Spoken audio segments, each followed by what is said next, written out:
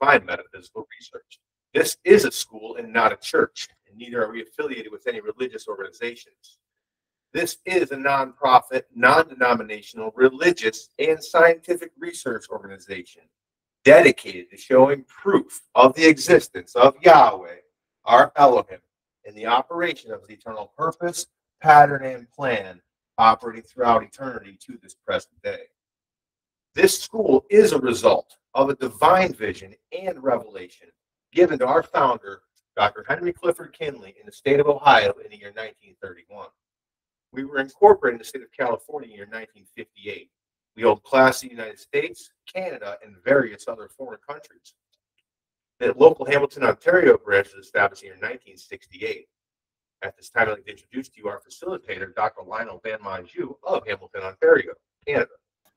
Praise Yahshua. In this school, we use the true, correct, and original name and title of the Heavenly Father, the Word or Son, and the Holy Spirit as they're contained in the original Hebrew text. The true name of the Heavenly Father is Yahweh. It has been improperly substituted by Lord. The true title of the Word or Son is Elohim. It has been improperly substituted by the title God. And the true name of the Holy Spirit manifested in or out of a physical body is Yahshua. It has been erroneously substituted by Jesus Christ. Now, Lord and God are titles and not names. The Apostle Paul, filled with the Holy Spirit, tells us in 1 Corinthians 8 and 5 that there are Lords many and there are gods many. But we now know that each Lord must have a name and each God must have a name also. Elohim is a title, but unlike Lord and God, Elohim is a divine title. This means that Elohim is the title that our Creator chose for himself. Jesus is a name, but it is an erroneous name. A minor investigation on your part into a good dictionary or encyclopedia would prove that the Hebrew language, the Greek language, nor the Latin languages have any characters or letters in their alphabets that can produce the sound that is made by this letter J. Neither was there a letter J in our own English language until some 1400 years after the Messiah's death. So, therefore, such names as Jesus and Jehovah are impossible renderings of the true and original name of the Heavenly Father and His Son. Christ is a title just like Lord and God. Now, Yahweh is pure spirit. And in this state, he is incomprehensible and inscrutable. He is the ultimate source, substance, limits, and bounds of everything. We have Yahweh in his pure spirit state, symbolized on this chart as a cloud. Yahweh is not a cloud. He merely chose a cloud to symbolize himself because a cloud has no particular or descriptive shape and form. This cloud is drawn all around the edges of this chart to show you that everything on this chart is within the cloud. In like manner, everything in the universe abides within the pure spirit state of Yahweh. Yahweh, knowing that man could not perceive him in his pure spirit state, he took on shape and took on form right within himself as Elohim. This is the Word or Son, a super incorporeal being that is having the shape and form of a man but without actual flesh and blood. This form can be seen in divine visions and understood by divine revelations. Later on, the self-same spirit manifests in a physical body and walked the earth plane as Yahshua the Messiah, whom the world calls Jesus Christ. Now, there's only one name given unto salvation, and we all must know this name.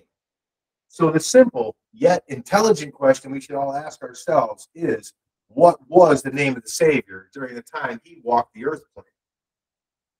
A further understanding of this name and title may be had by reading the preface of the Holy Name Bible. Also, at this school, we teach by the divine pattern of the universe. It is called the divine pattern because it is Yahweh's pattern. After Yahweh led the children of Israel up out of Egypt, he called Moses atop Mount Sinai and showed him this tabernacle pattern in a vision. He later instructed Moses to build one exactly like it in the wilderness of Sinai. This pattern consists of a most holy place, a holy place, and a court round about. These three compartments make up the one tabernacle pattern, and absolutely, in, oh, I'm sorry, and in the school we show proof how that absolutely nothing escapes this pattern. Did I skip something? It operates according to structure. And absolutely everything in the universe is made and operates according to the structure and function of this threefold tabernacle pattern, and absolutely nothing escapes the pattern. The school has 10 primary constitutional aims and objectives. They are as follows. First is to help you find and know Yahweh, our Elohim, as he really is and actually exists. Second is to form a nucleus of universal brotherhood of humanity in Yahshua the Messiah, without distinction of race, nationality, creed, sex, caste, or color. Third is to investigate the unexplained spirit law or so called law of nature and the powers latent in man. Fourth is to encourage and promote the study of the scriptures, comparative religion, psychology, philosophy, modern, practical, and occult science. Fifth is to extirpate current superstition, skepticism, and ignorance. Sixth is to learn, know, and understand the operation of Yahweh's eternal purpose, operating throughout eternity to this present day. Seventh is to discern and avoid being deceived by Lucifer, the dragon, the devil, or Satan and his demons operating in the mystery of iniquity on earth through the dispensation of time. Seventh is to discern and avoid being deceived by Lucifer, the dragon, the devil, or Satan and his demons operating the mystery of iniquity on earth through the dispensations of time. I'm sorry, I'm messing up. Eighth is to earnestly contend for the common salvation and faith which was once delivered unto the sons or children of Yahweh. Ninth is to make known that Yahweh from the beginning ordained. There is no other name whereby man can be saved, saving the name of Yahshua the Messiah. And tenth is to inherit eternal life now in the kingdom of Yahshua Messiah with the hope of a moral glorification in a new earth state. Our watchword is peace. Our slogan is speak the truth. We'll now have our class dedicated in prayer by Dr. Benjamin Lattimore, which will be followed by our scripture lesson, which is uh, Exodus 17th chapter, which if that could be read by Pattie Deslin in uh, Pittsburgh, Pennsylvania area. There we go. And I think Darryl's going to put up a song. just Oh, I'm sorry. Thank you.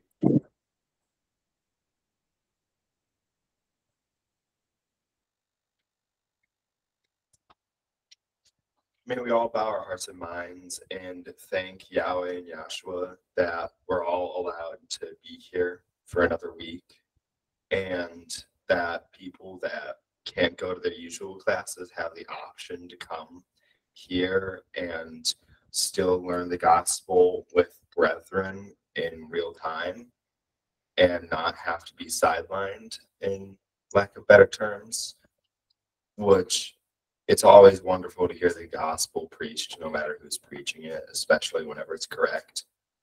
And I love it whenever new people come to the class and Yahweh brings people in that have either been going to class for years and years or it's their first one. Hallelujah. Hallelujah.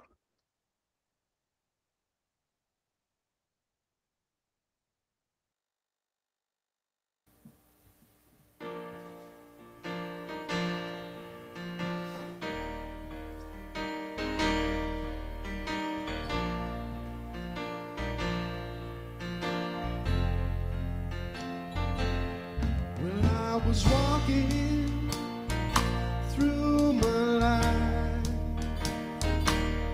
thought I was something, thought I was just right. I didn't realize there's something more. more than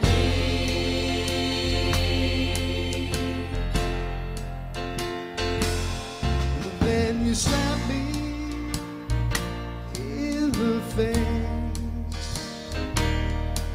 made me see that it's just by grace. And that there's nothing I can do. Cause it's all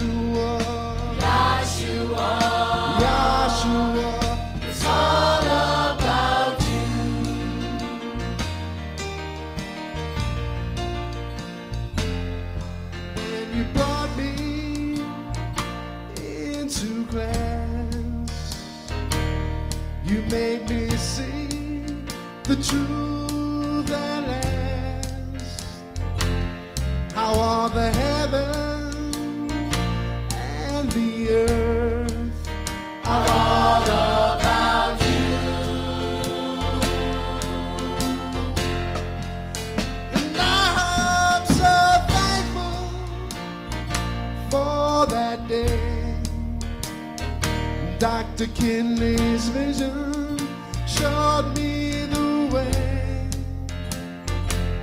but I was blind. Now I see that it's not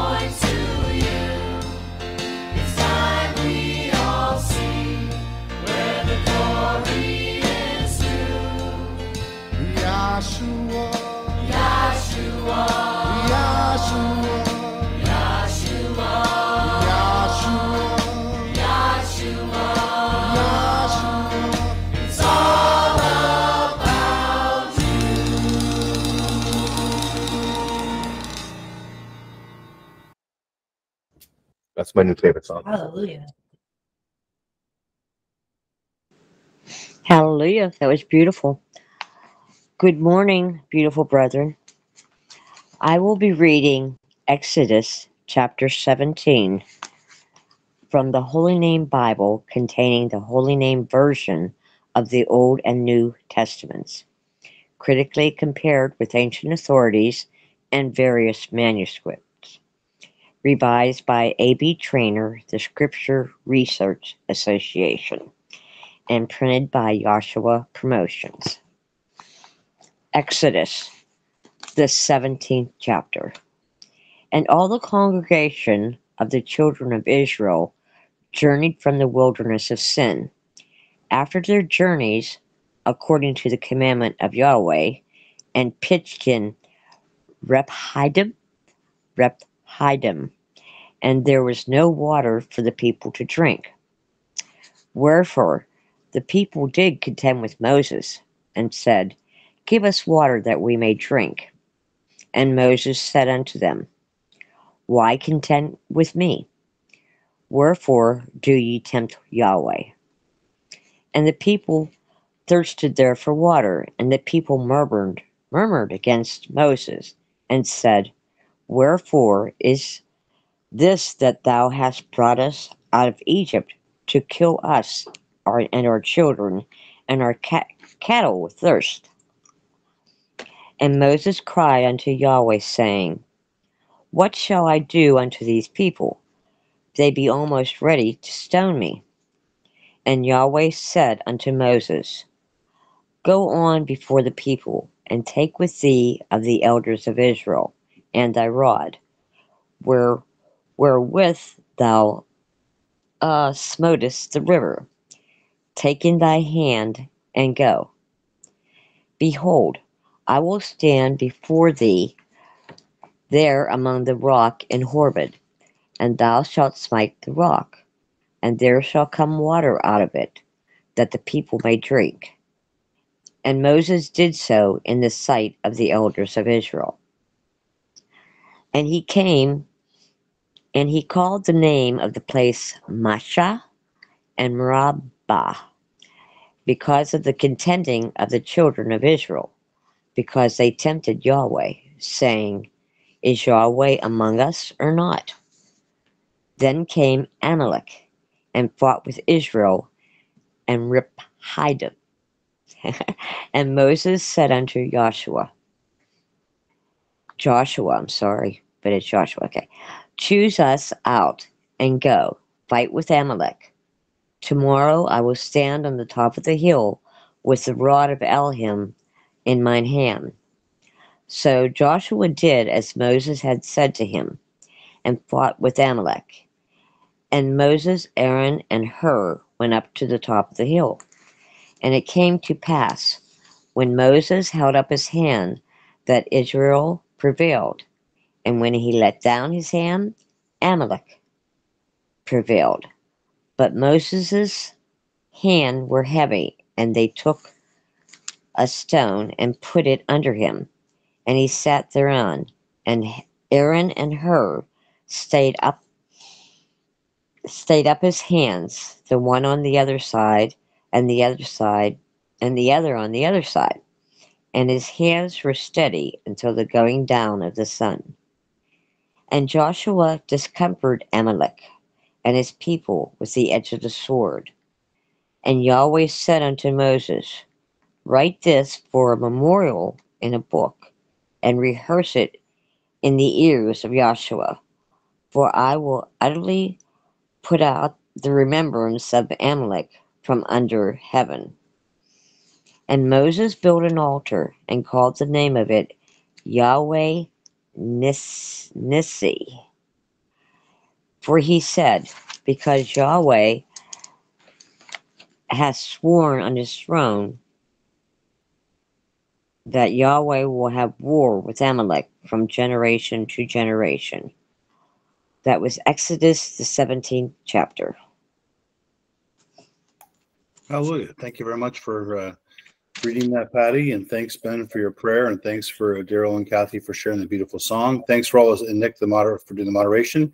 It's always a pleasure to get together. I just wanted to do a quick hospitality. Think, would like to thank uh, brethren uh, joined us from the Bahamas, from uh, Zambia, uh, Canada, and uh, United States. We've got rep- folks here from uh, Wisconsin, Michigan, Tennessee, Pennsylvania, New York, New Mexico, and the great state of Texas. There you go.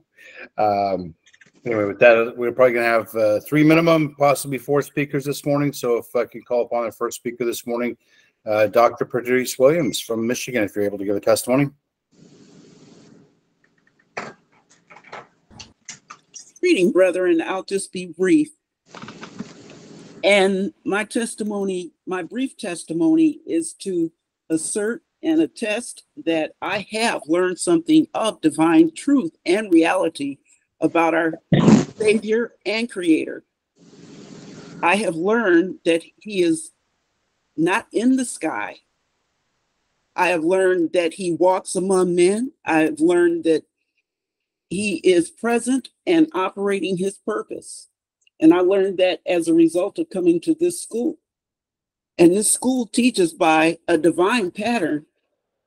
And that pattern is an explanation of what our Creator is.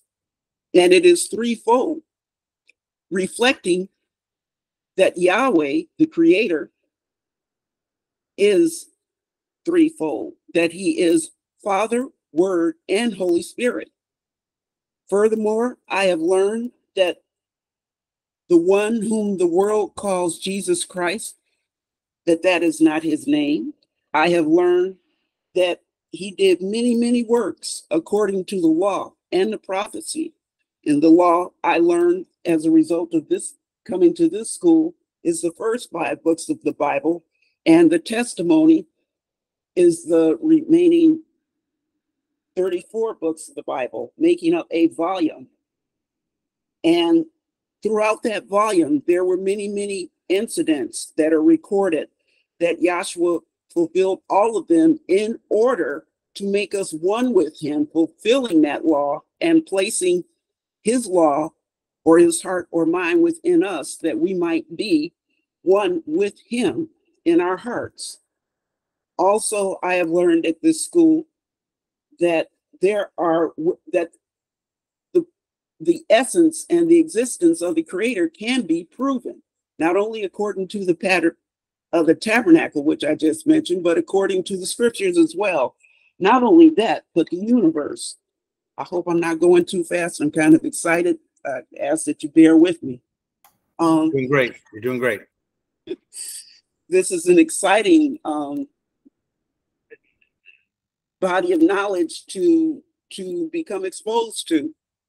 And why is that? Because it can help us in our practical application of it in our everyday lives. That we acknowledge Him and seek Him to lead and to guide us according to things that please Him, according to the mystery of righteousness. So, with those things, I will say that I'm grateful for what I learned. I'm grateful for whom was sent to teach. And with those few words, I'll uh, just say I'm ever so thankful and thank you for the opportunity. Thank you for your testimony, Patrice. Always uh, love when you can uh, contribute and share with us. So your presence, uh, you certainly matter in the body of Yahshua. Thank you. Uh, I'd like to call, call upon our next speaker this morning, uh, Dr. Sybil Lewis from Bahamas, if you're able.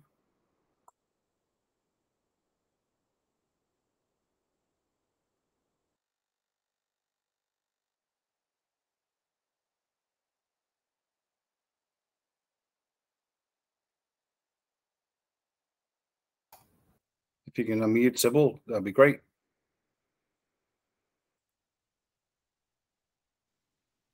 Can you hear me?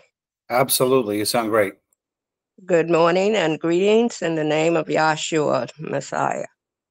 I'm grateful, as the first speaker said, I'm grateful to be here at this class this morning. And I'm thankful to Yahshua for everything. Uh, as a saying goes, the good, the bad, the ugly. I'm thankful and grateful because it could have been.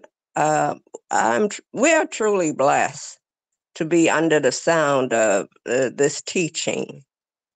And the last time I was at this class, I heard a speaker uh, talking about Ruth, the Moabitess, and I I always enjoy uh, reading about Ruth because it tells a story, and it's a story of redemption.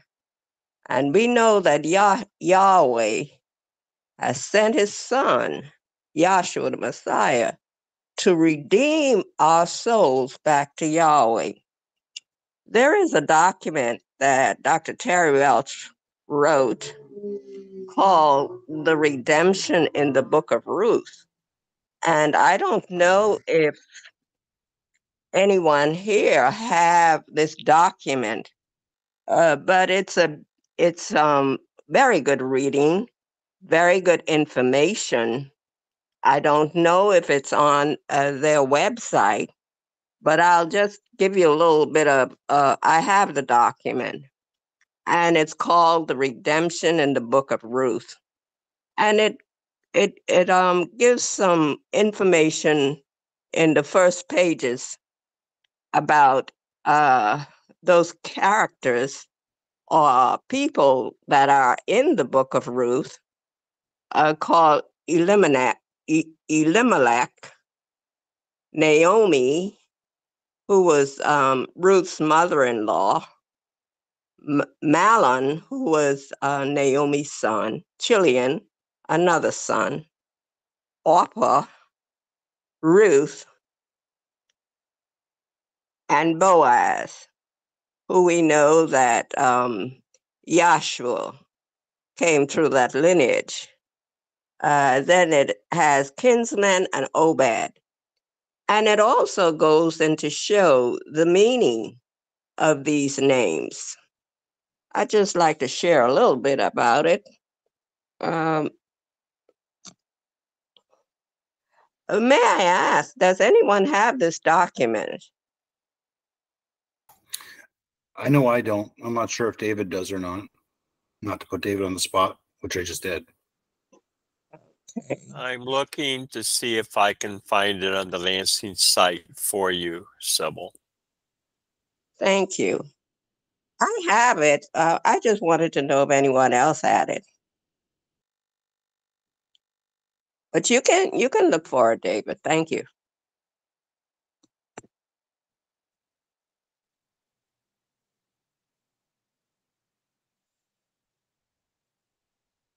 And while he's getting that, um, I'll just go uh, begin with.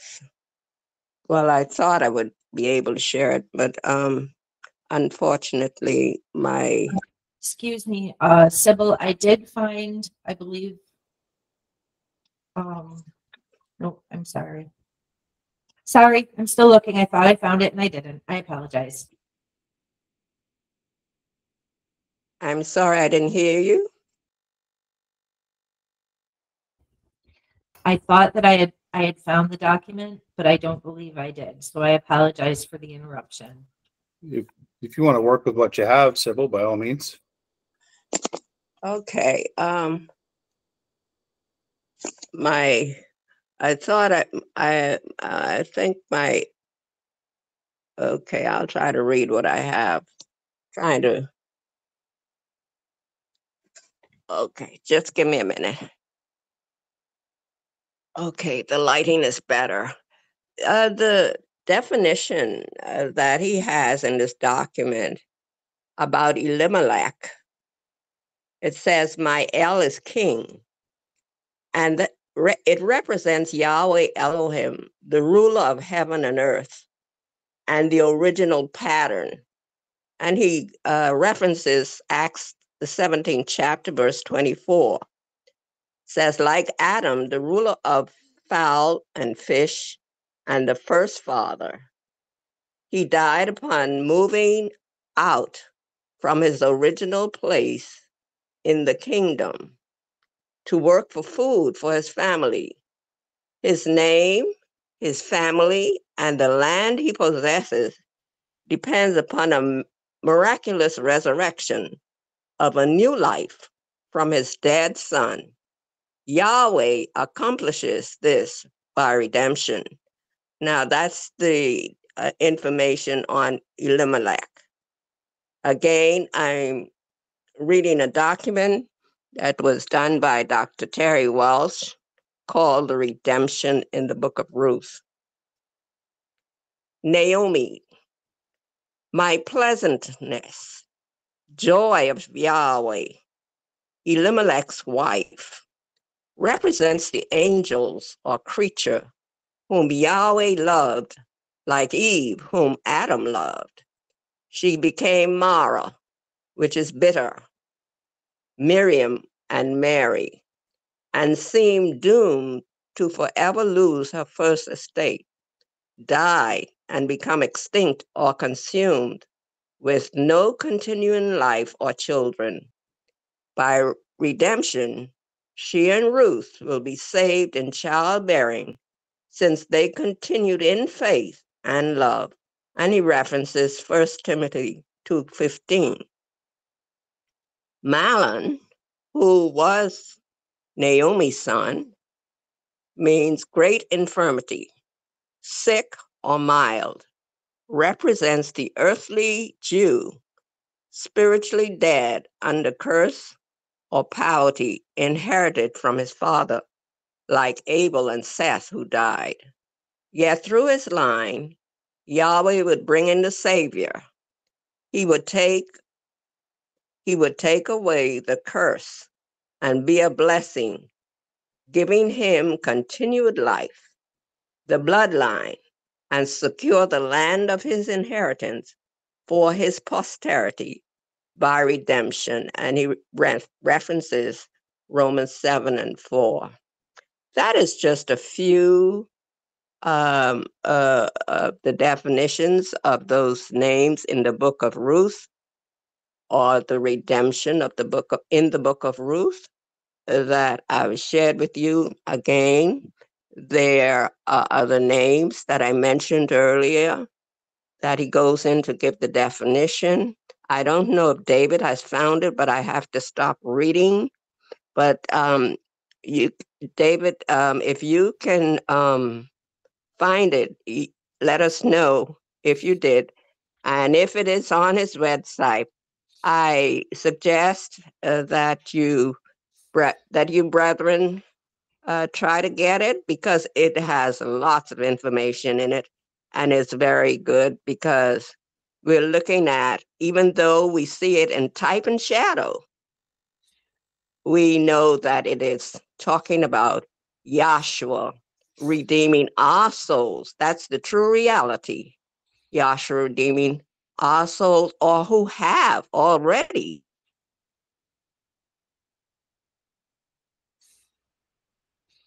redeemed our soul. So we're thankful that we know this gospel of the kingdom of Yahshua is truly, when it is preaching truth and sincerity, it is able to do the job. All praises go to Yahshua the Messiah. Hallelujah.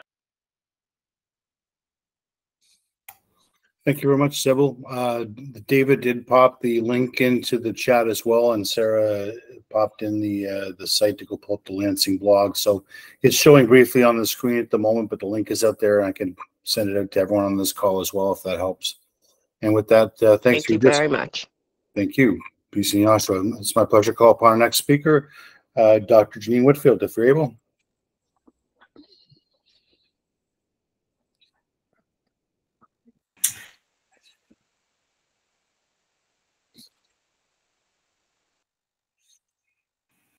Good morning, brethren.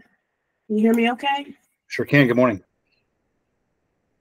Wow. Well, I'm glad to be here always and um, to have another opportunity to also testify to the greatness and the goodness of what we have come to. And, um, you know, it, it's um, the reality of this gospel is uh, upon us. And um, we are at a point where the sons are going through the fire and we are being tried and we are being made uh, stronger in the spirit, which are the attributes I was thinking about that the other day um, because we are searching the deep things of Yahweh. And what I mean by that is not it's not a situation where you know we're we're getting all sophisticated and all that kind of thing. No, it's not that. It is that when your mind is on Yahweh, um, He takes you uh, deeper into understanding how, choosing my words very carefully, how he is manifested in you. And it's sometimes painful as we go through this period or this process of uh, fire and trial. Um, but we are being prepared and it's important to see the beauty in that and to see always that glimpse of that light that is forever there even though you may be in the midst of chaos. Now, Yahshua said that in the world we would have tribulation. Um, and so, w- up until this point, everything that we have been taught, and I notice how the speakers, previous speakers, have emphasized, you know, when, when, it is taught in truth and righteousness, because that's very important. It's important because we know that from all of the witnesses in the world, in the physical body, we know that all those two mysteries do run neck and neck. We have to always keep that in mind and also remember that there's um, there's great lessons in seeing those two mysteries running neck and neck. For example, in your physical body, you know, or we know and have learned that we have both a sympathetic nervous system and a parasympathetic nervous system, performing opposite functions but bringing about a desired result. We know that in order to get light, we need both that negative and that positive charge in order to bring about a desired result. We know that when we're washing clothes in the washing machine, that process of getting clothes clean is called agitate. This, these are principles that help us to think differently about the way in which we might be experiencing what feels very painful, hardships, um, you know, family struggles. Uh, the satanic spirit literally incarnating in family members and you seeing a type of love truly growing cold or you seeing a whole change and you know you're being uh, tested on how to stand and how to and, and experience all of these different things that you know may cause you to think that yahweh is not with you that yahshua is not in you. And that's just not true. So I want I preface, you know, kind of like the discourse to just say that it's important for us to recognize where we are. And we know, I know from the last few classes that I have had the pleasure of attending, um, this is the line that we're running. This is the thread right now. Um, and so knowing that the wickedness is becoming more wicked, we have to look at what Yahweh is causing us. Because the, the, the thing about it is, is that we're not um, pathetic or weak. No, no, no. We are strong and powerful in Yahweh, but the anointed cherub, he covers, he he shields, he hides, he or he disguises and it becomes hard sometimes for us to see what is really in us. I want you to put up the, um, let's just go back now, just for the sake of, you know, trying to put things into, you know, a, a, a, a better context. This teaching was founded by Dr. Henry Clifford Kinley, who declared that he had a divine vision and revelation straight from the Creator, and he said, Make me prove it. Now, he has done that. And along with this proof that we have, we come to understand who our Creator really is. If you could get the, um, I'm sorry, the Moses chart. And we understand that Yahweh is pure spirit. And in order for us to understand anything about this pure abstract state and condition, he has to condescend or he has to take on a lesser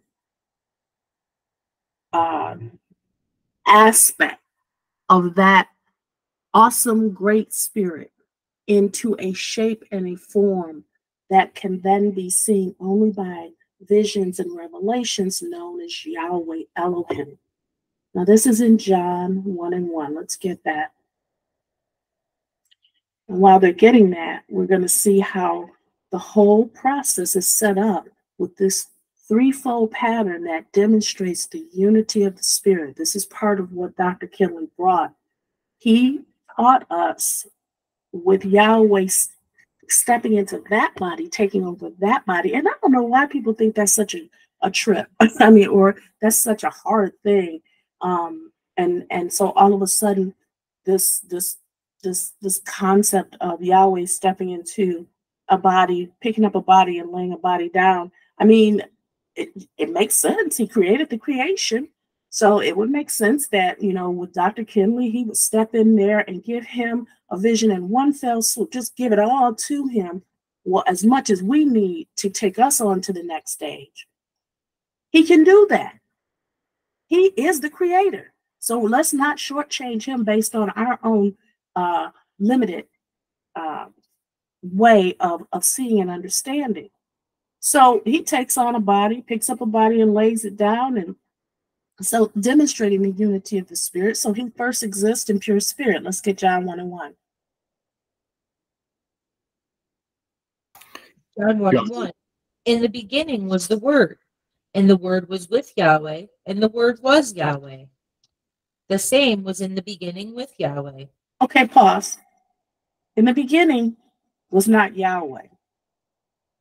Okay, there is no beginning for Yahweh. There is no end for Yahweh. In the beginning was the word. And in the in the word is Yahweh in shape and form. That's what's in the beginning. We have to be very clear about that.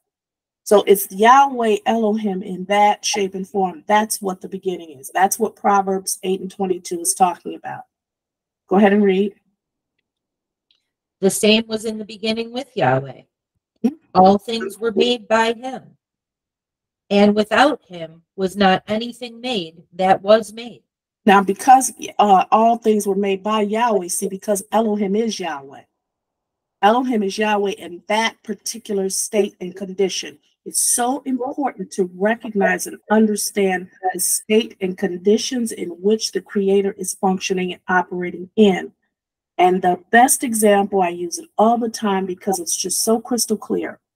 The best example of understanding that unity of the Spirit and the conditions of various aspects of the unity of the Spirit comes in the form of H2O. Now, um, you know, steam is very hot and it's it, it, it it's in it's everywhere. It's everywhere steam or or it's it's it's in the air. It's everywhere. You can't see it you can't grasp it you can't catch hold of it so but then when you cool steam down it becomes a liquid form. Now in that liquid form it's not doing exactly the same thing as it does in that gaseous or that steam state.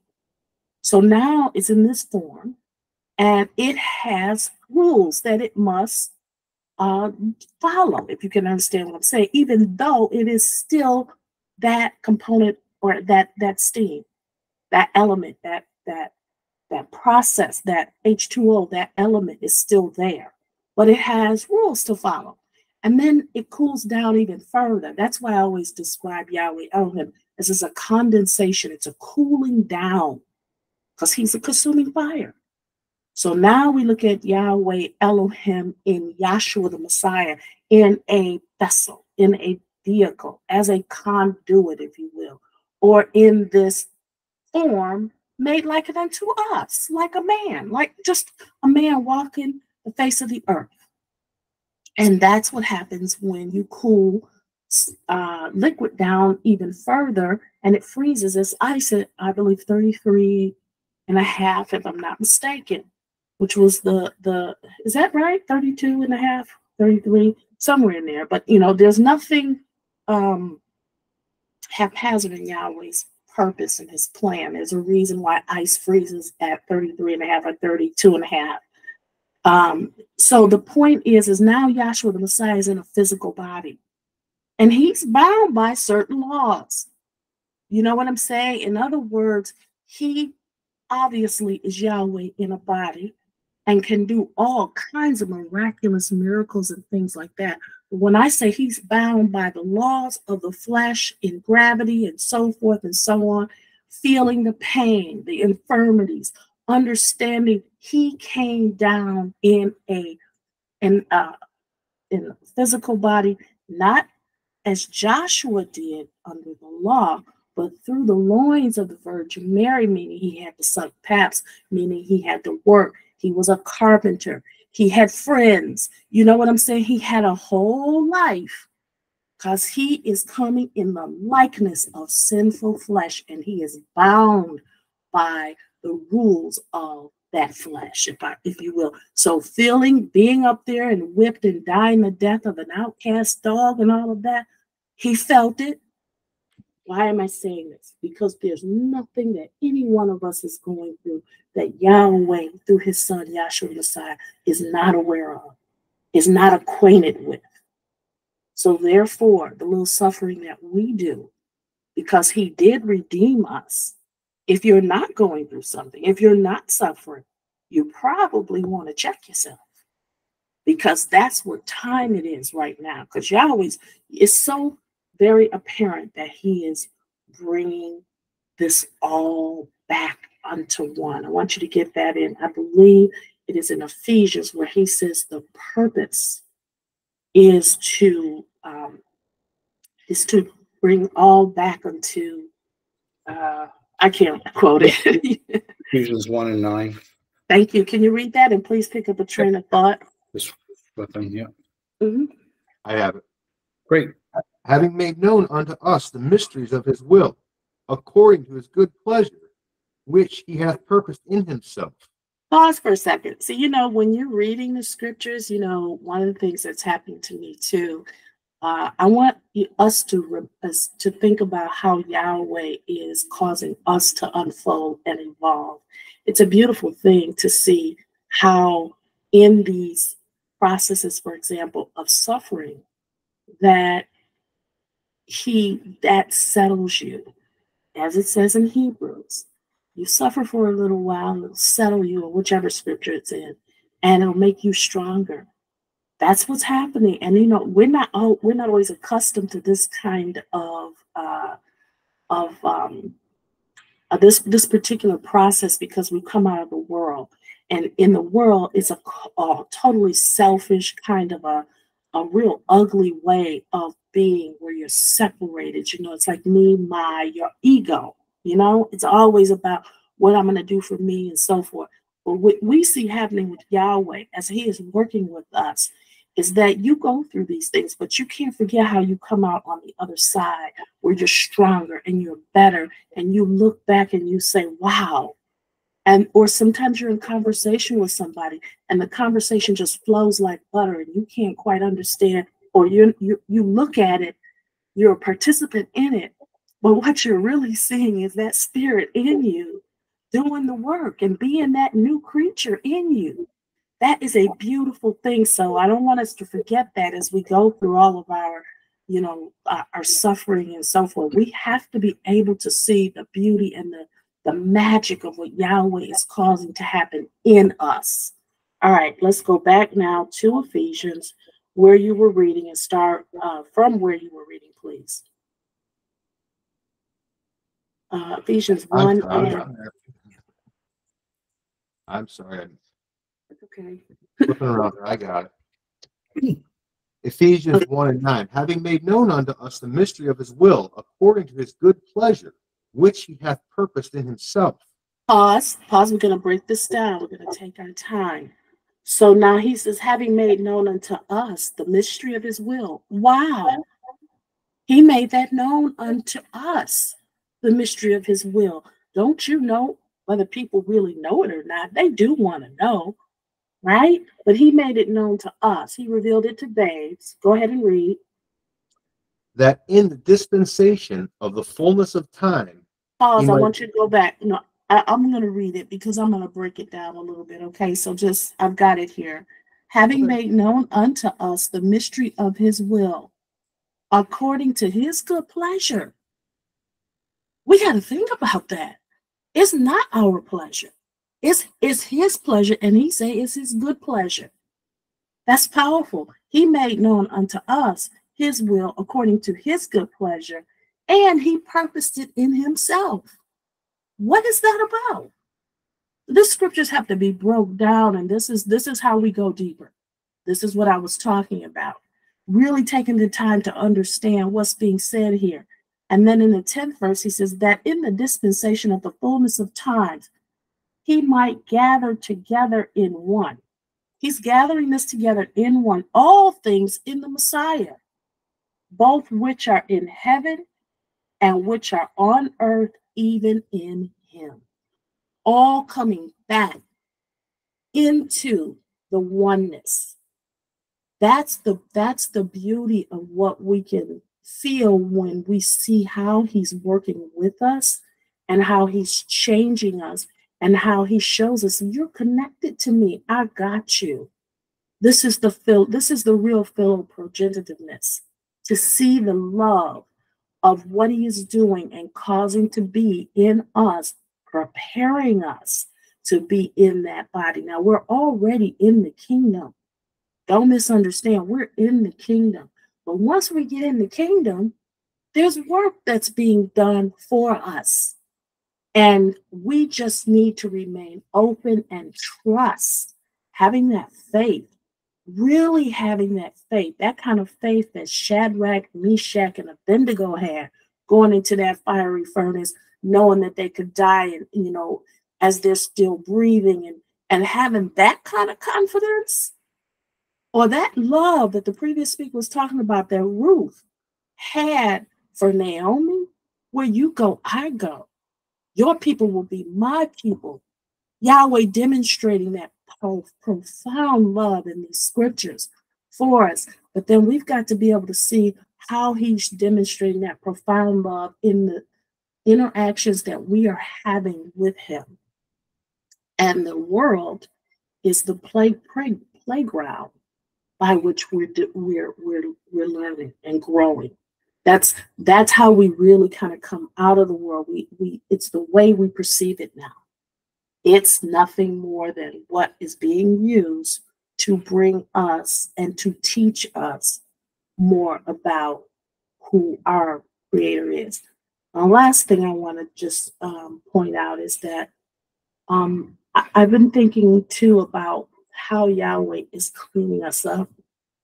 And sometimes the way in which he's cleaning us up is not, we're not even aware that we have these um, things in us, you know. And, and, and I had this analogy that Yahweh showed me is like, you think about a pillowcase and you wash it and it's nice and clean. But if you turn it inside out and you look in those corners, you will see things that you just like here. It's like all kinds of dirt and dust monkeys and all kinds of things in the cracks and the crevices of that pillowcase. But on the outside, you flip it back over, it looks like it's clean. Now I'm I'm sharing that to say that's just how thorough our creator is we don't know how deep these things are rooted in us just because we've come into this teaching and just because we've sat under the teaching for years.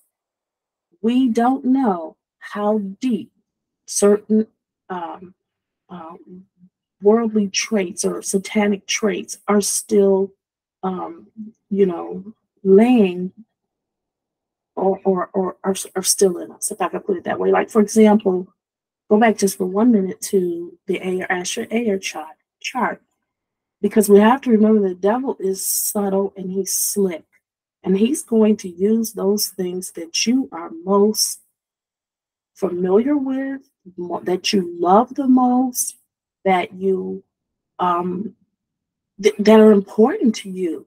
He ain't coming at you with the same old thing that you know we was before we became sons. He's not coming at you like that no more.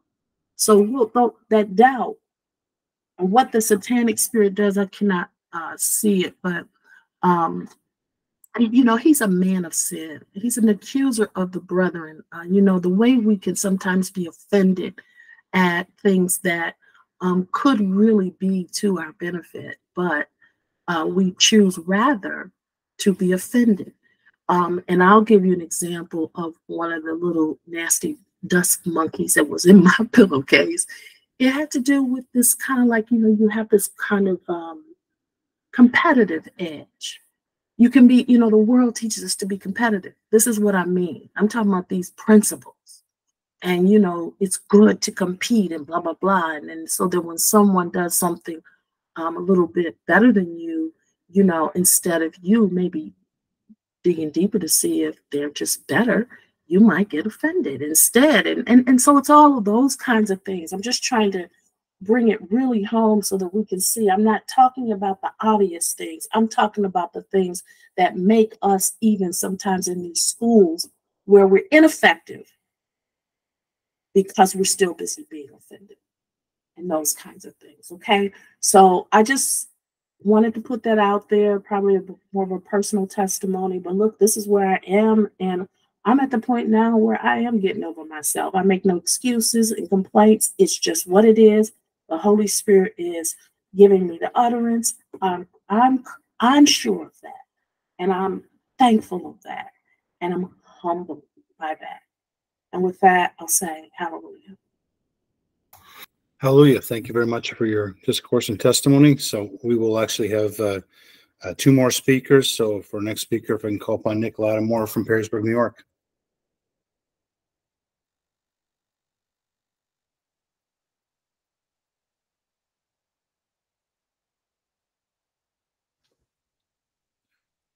Good afternoon, everyone. Evening, morning, all the good stuff.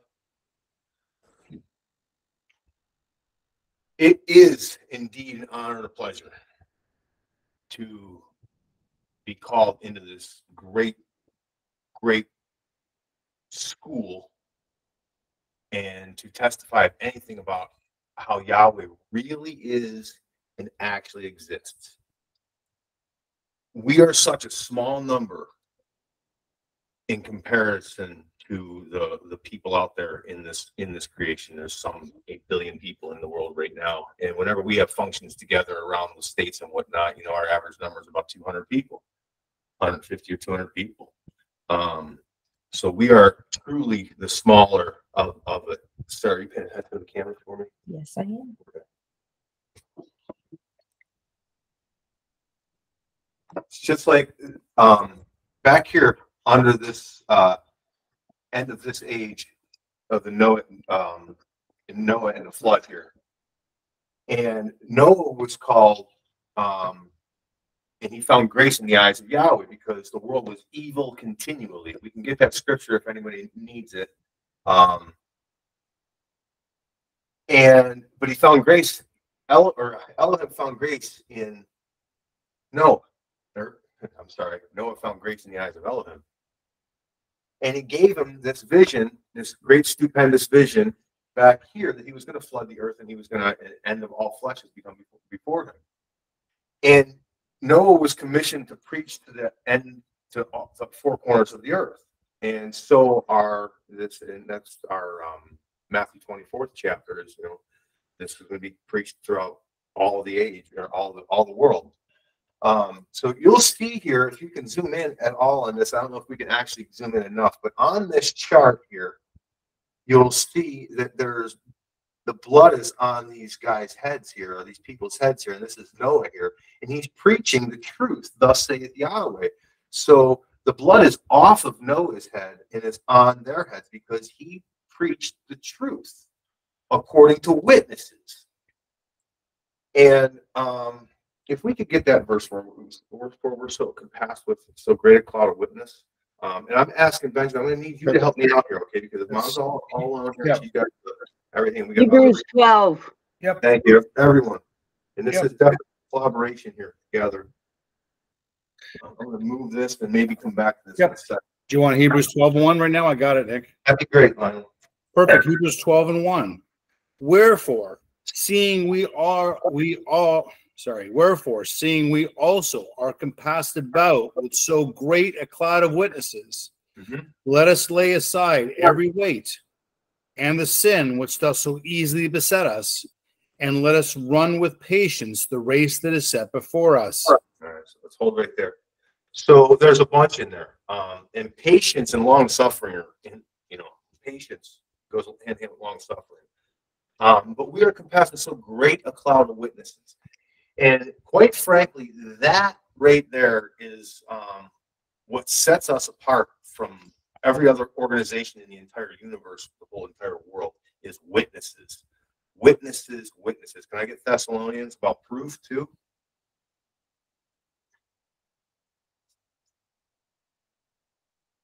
First Thessalonians five twenty-one. Prove all things. Hold fast that which back is up one verse. I'm sorry. Go to five this morning. despise not prophecy. Uh-huh. Prove all things. Oh, maybe two verses. I'm sorry. I'll go to 18. And everything give thanks. For this is the will of Yahweh in the Yahshua the Messiah concerning you. Quench not the spirit. Quite not, not the spirit. Go ahead. Despise not prophecy. Don't- Now, so there's lots of. Keep going. I'm sorry. Prove all things. Hold fast that which is good. So witnesses. How do you prove things? It's through witnesses. Through witnesses.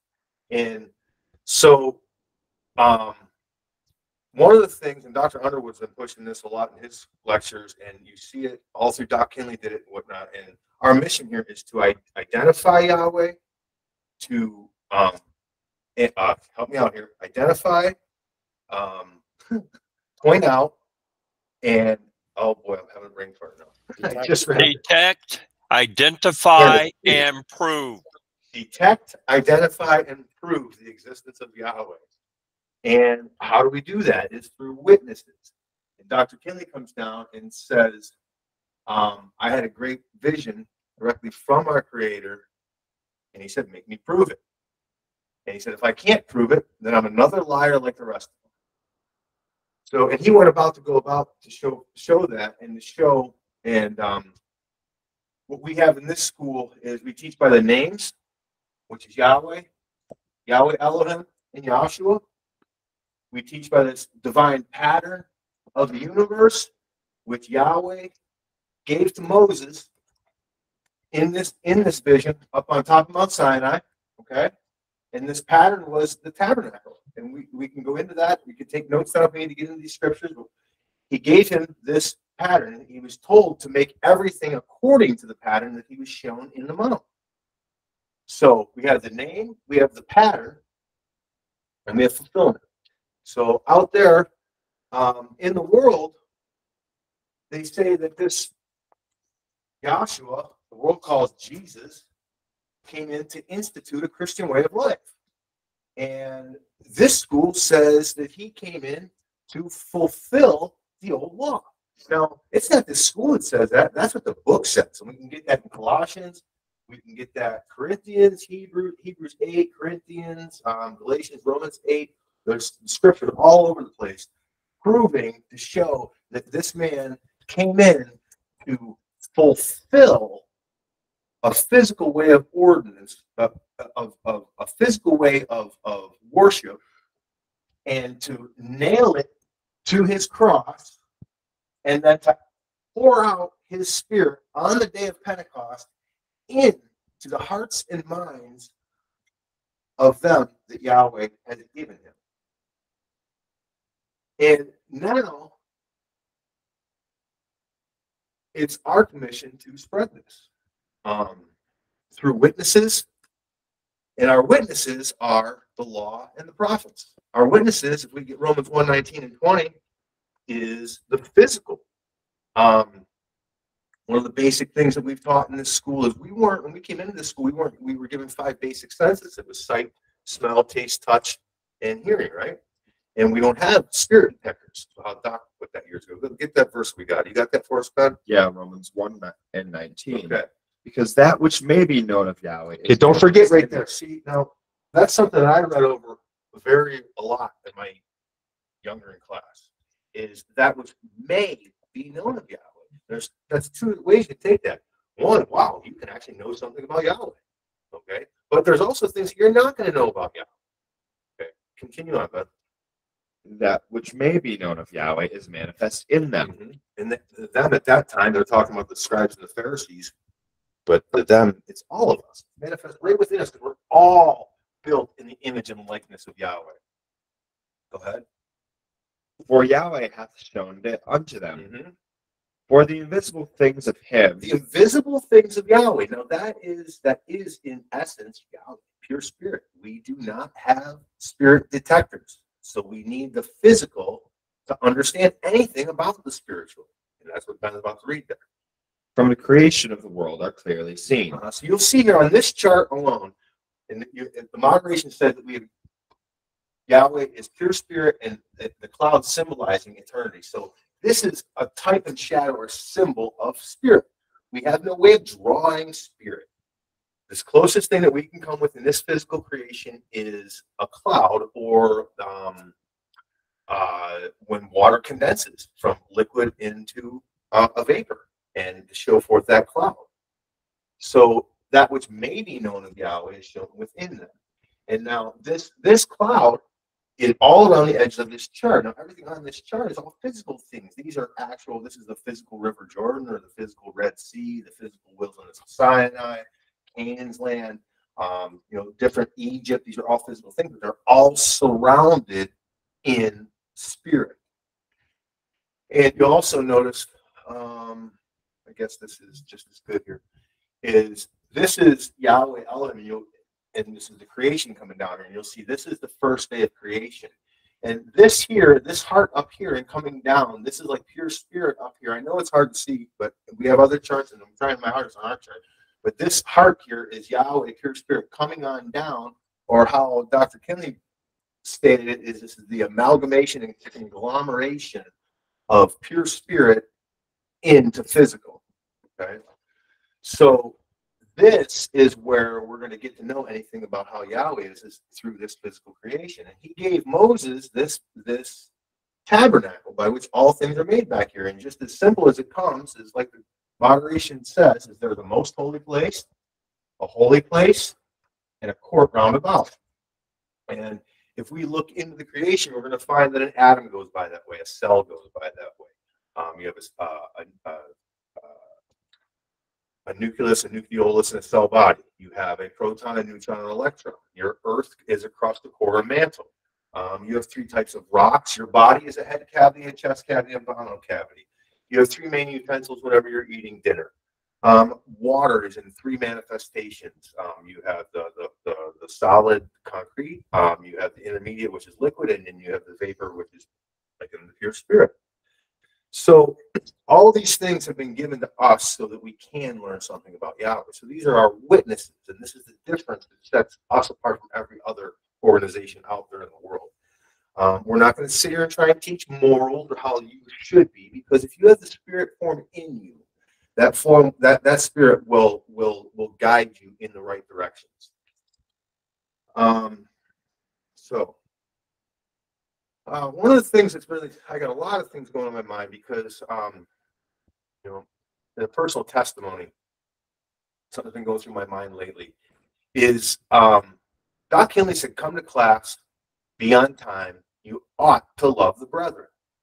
And the word ought is actually, let's just look it up. Let's get the definition of ought, if we could do that for us. And um, oftentimes people think that it's something nice to do or something you should do. And that's not the definition of ought. It's one is used to indicate duty or correctness, Mm, duty or correctness. Go ahead. typically when criticizing someone's actions. Okay. Two, used to indicate something that is probable. Um, the five minutes should be enough time. That that's what it said. I'm I'm look. That's all I have right now. I'm looking. Start at the beginning. uh, please. Used to indicate duty or correctness. You, you ought, it's your duty. It's your duty. It's correct to love the brother. Used to express obligation, Mm. advisability, natural expectation, or logical consequence. Okay. So if you have that spirit formed in you, you are going to love the. That and you're going to recognize that spirit in your brothers and sisters out there. Um whew, if we could get uh, let's go to the scripture lesson because I, I you know I, I got I'm all over the place here. Let me I do want the scripture lesson, but get back to where I was there. Is to come to class, be on time, and ought to love the brother. That's where I was at. So um, this is to come to back when Dr. Kinley was teaching these things. You know, this was well before any of the technology we have. Quite frankly, back in the '70s, you know, we uh, a landline was the best communication we had, and quite frankly, back then there was an awful lot of letters being written. And he set up the schools at 120 minutes a, a section, and he set them up for three days a week. And the physical showing forth the spiritual, that is 120 minutes showing forth the 120 years that Noah preached back here, back- back here, 120 years that Noah preached back here.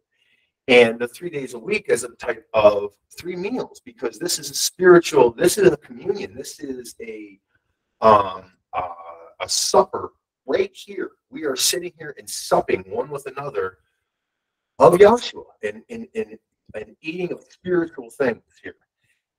Um, so Doc said, you know, you're going to eat three meals physically in a day, and you need to. Um, you to, to sustain a, a, a, a healthy body, you need three meals a day.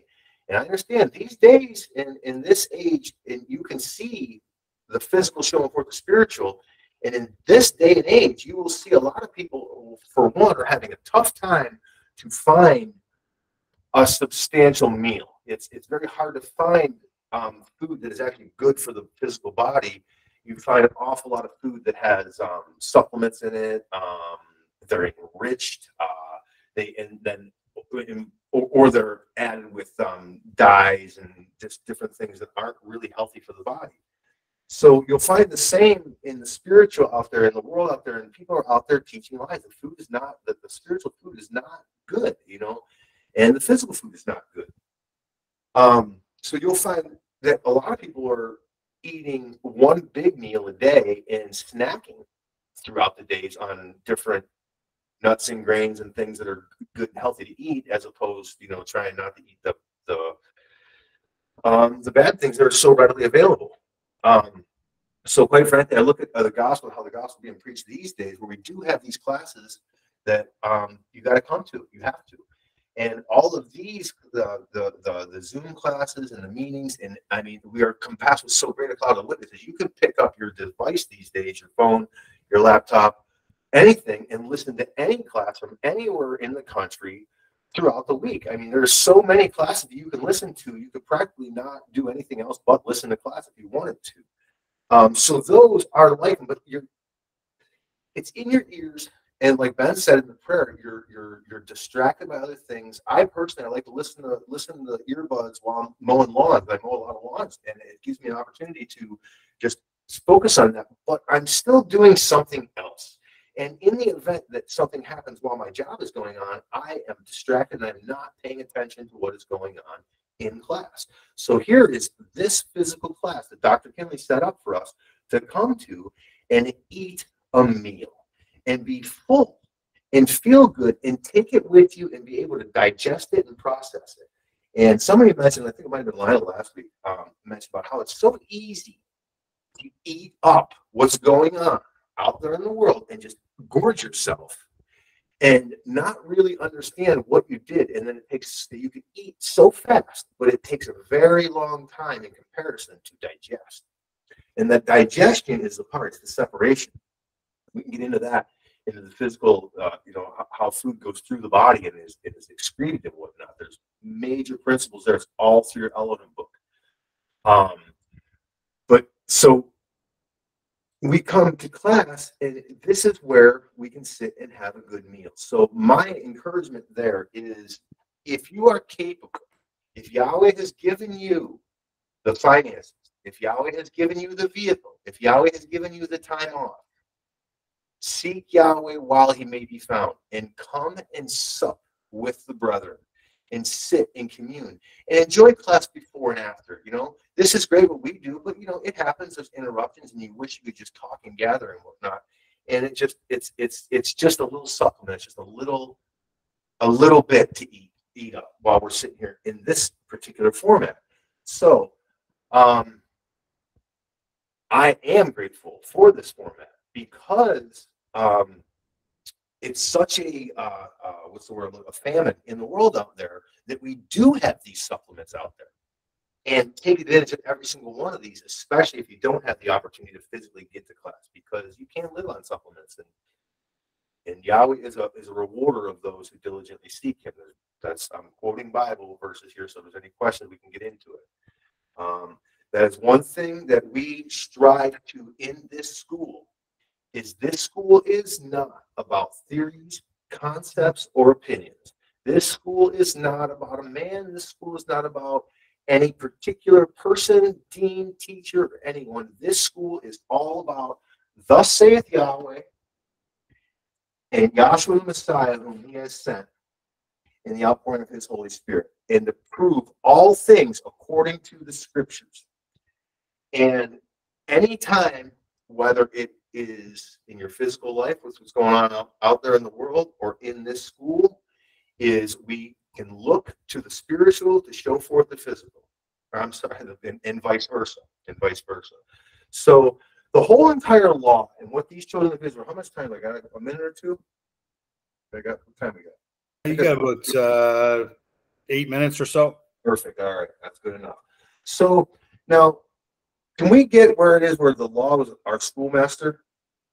And now the children of Israel, I'm going to go through this and it's all. Galatians book. three twenty-four.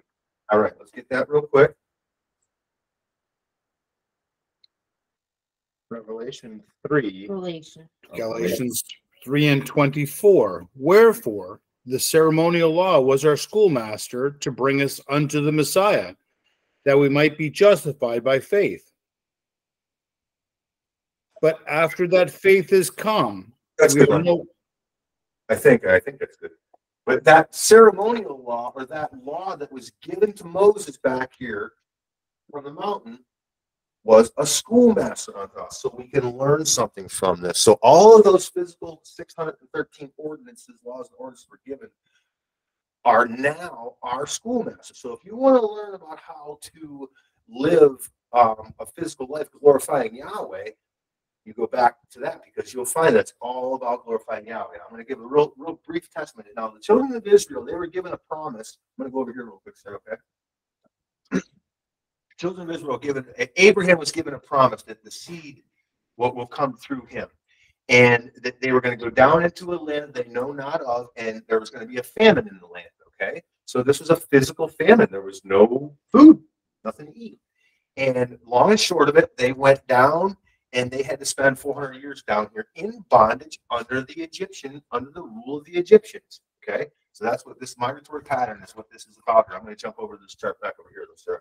So this is the exact same depiction of what was on what is the elementary chart or the pattern of plan of Yahshua. Um, but this is the same plate right here. This is the migratory pattern. And now these children of Israel were down here because of the uh, they were sent down here because of a famine in the land, and they were slaves, and they were enslaved to the Egyptian rule. And under that Egyptian rule, we can look at our history books, and you will find how the Egyptians ruled. You can go over there right now and still see how they ruled um, with their pyramids um, and how they well. And they were a, a, a god for every single thing out there. Um, now, the children of Israel were set apart from the Egyptians, but they were subject to that, and they were down in that land, and they were they were made known to understand the the worship of the Egyptians back here.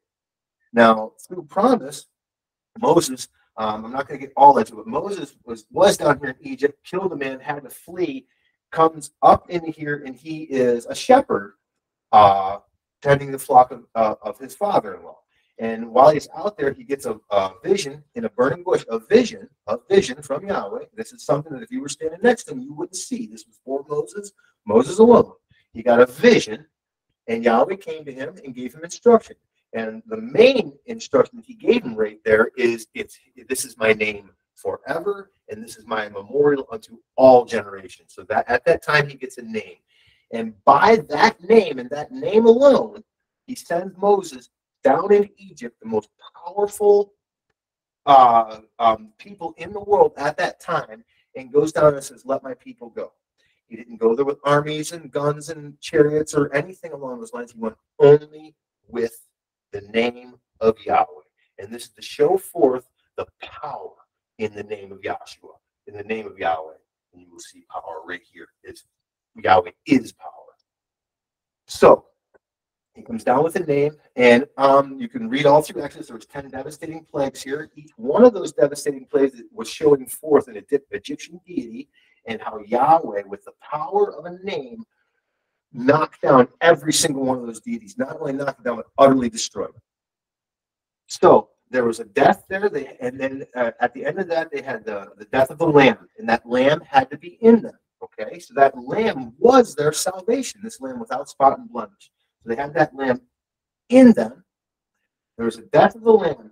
Then and they had to be come up through the Red Sea, the divided waters of the Red Sea. Now Yahweh divided those waters of the Red Sea. They had to come up through there with the lamb in them. So you have death, burial, and they resurrect on the wilderness of Sinai. And now to get into it, now when they come up into the wilderness of Sinai, here they are. They are provided with manna. They are provided with quail. They are provided with their shoes don't wear out. Their clothes don't wear out. These are all physical things showing forth spiritual things. And the, the spiritual principle here is, is all of those things happen for them as long as they kept their eye on Yahshua. Now, if we could get um, Matthew 6 and 33, and if we could get, um, do, do I have a scripture sitting there waiting for me? Okay. And Numbers 21 and 8. Matthew 6 and 33. Yeah. But seek ye first the kingdom of Back it Yah- up. I'm sorry. I'm backing up. It's 30. 31. Therefore, take no thought, saying, What shall we eat? Or what shall we drink? Or wherewithal shall we be clothed? Mm-hmm. Pa- Pause for a second. This is under this is Yahshua speaking here. Okay, in the New Testament, well, in the so-called New Testament part of your book, this is under the old law because it's not he did not go to the cross yet. But recap that verse real quick. Therefore, take no thought, saying, What shall we eat? Or what shall we drink? Or wherewithal shall we be clothed? And you'll find back here in the children of Israel, they were murmuring back here all the time. What are we going to eat? What are we going to drink? You bring us out here to die. Was there not enough graves on there? They were continuously murmuring. But you'll find there, if you could get uh, continue there and have that ready for me. Ben? Yeah, Thanks. Numbers. Hold on one second. For after all these things do the Gentiles seek. For your heavenly Father knoweth that ye have need of all these mm-hmm. things. But seek ye first the kingdom of Yahweh and his righteousness, mm-hmm. and all these things shall be added unto you. If you seek first Yahweh and you keep your eyes on the prize, He will provide all of these things for you. Now that's on a, in, in the so-called New Testament. We get that numbers are back. Uh, numbers 21 and 8. Um, yeah, but back it up to like I don't know six or so. All right. Numbers 21 and 6. Uh-huh. And Yahweh sent fiery serpents among the people. And I'm they- sorry, no, back it up. Um, no, back it up to uh, three. Numbers 21 and 3. And Yahweh har- hearkened unto the voice of Israel and delivered up the Canaanites. And they utterly destroyed them in their cities. Mhm. And he called the name of the place Hormah. And they jour- journeyed from Mount Hor by the way of the Red Sea around the land of Edom. And the soul of the people was much discouraged because of the way. And and the Because they're, they're, because Yahweh's sending them a way that they didn't want to go. but Yahweh putting them in a direction that wasn't according to them, and they thought they had a better idea. Go ahead. And the people sp- spake against Elohim and against Moses. Uh-huh. Wherefore have ye brought us up out of- Egypt to die in the wilderness? For there is no bread, neither is there any water, Mhm. and our soul loatheth this vile bread. And Yahweh sent fiery serpents among the people. And Yahweh's like, "Are you kidding me? You know, I, I've already done. No, see, this is well after they've already witnessed all of these things that happened. Through uh, this is you know well into their journey. I'm not exactly sure how far, but they've already had a great cloud of witnesses presented to them, and they're still murmuring. Go ahead. And they bit the people, and much people people of Israel died. Mhm. Therefore the people came to Moses and Mhm. said, We have sinned, for we have spoken against Yahweh Mhm. and against thee. Mhm. Pray unto Yahweh that he take away the serpents from us. And Moses prayed for the people. And Yahweh said unto Moses, Make thee a fiery serpent and set it upon a pole. Mhm. And it shall come to pass that every one that is bitten, when he looketh upon it, shall live. Mhm. So all they had to do was recognize their problem, and Yahweh took care of it. So um, to sum it all up here is we need to focus on Yahweh in every single aspect of our life, not just when we come to class or not when you're just feeling down and out or up or, or don't understand what's going on and want to open a book, get yourself some learning. My ultimate point here is is Doc Kinley said come to class and be on time, three three three lectures, but class itself should be a 24-7 thing. Um, yeah, even when you're sleeping, because Yahweh put that breath of life right in you, and you are praising Yahweh in every breath, whether you know it or not. But to recognize that you are a witness to Him in every breath, and class should be continuously. And this gathering together of a physical classroom should be just your your respite, your break, your chance to get away from those fiery darts out there in the world, away from those serpents, away from those things, and come here and commune with the brethren, sup with the brethren, and give you that, which once again is just glorifying the name of Yahweh.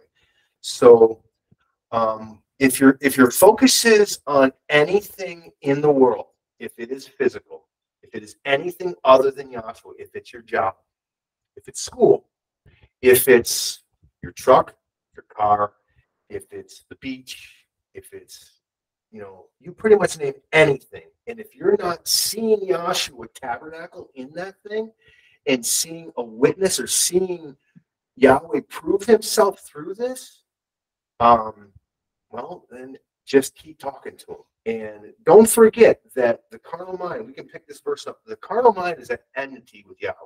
And Doc Kinley said we came in dead on arrival. So the world out there is carnal minds, and it is continuously at enmity with Yahweh. So when you're out there and you're dealing with these carnal minds, keep that in mind. And in everything, try and show them anything you can possibly show them about how Yahweh really is and actually exist. And if you can't just show it, just do it in your nature just just and Yahshua will, will come through you and, his nature will come through you.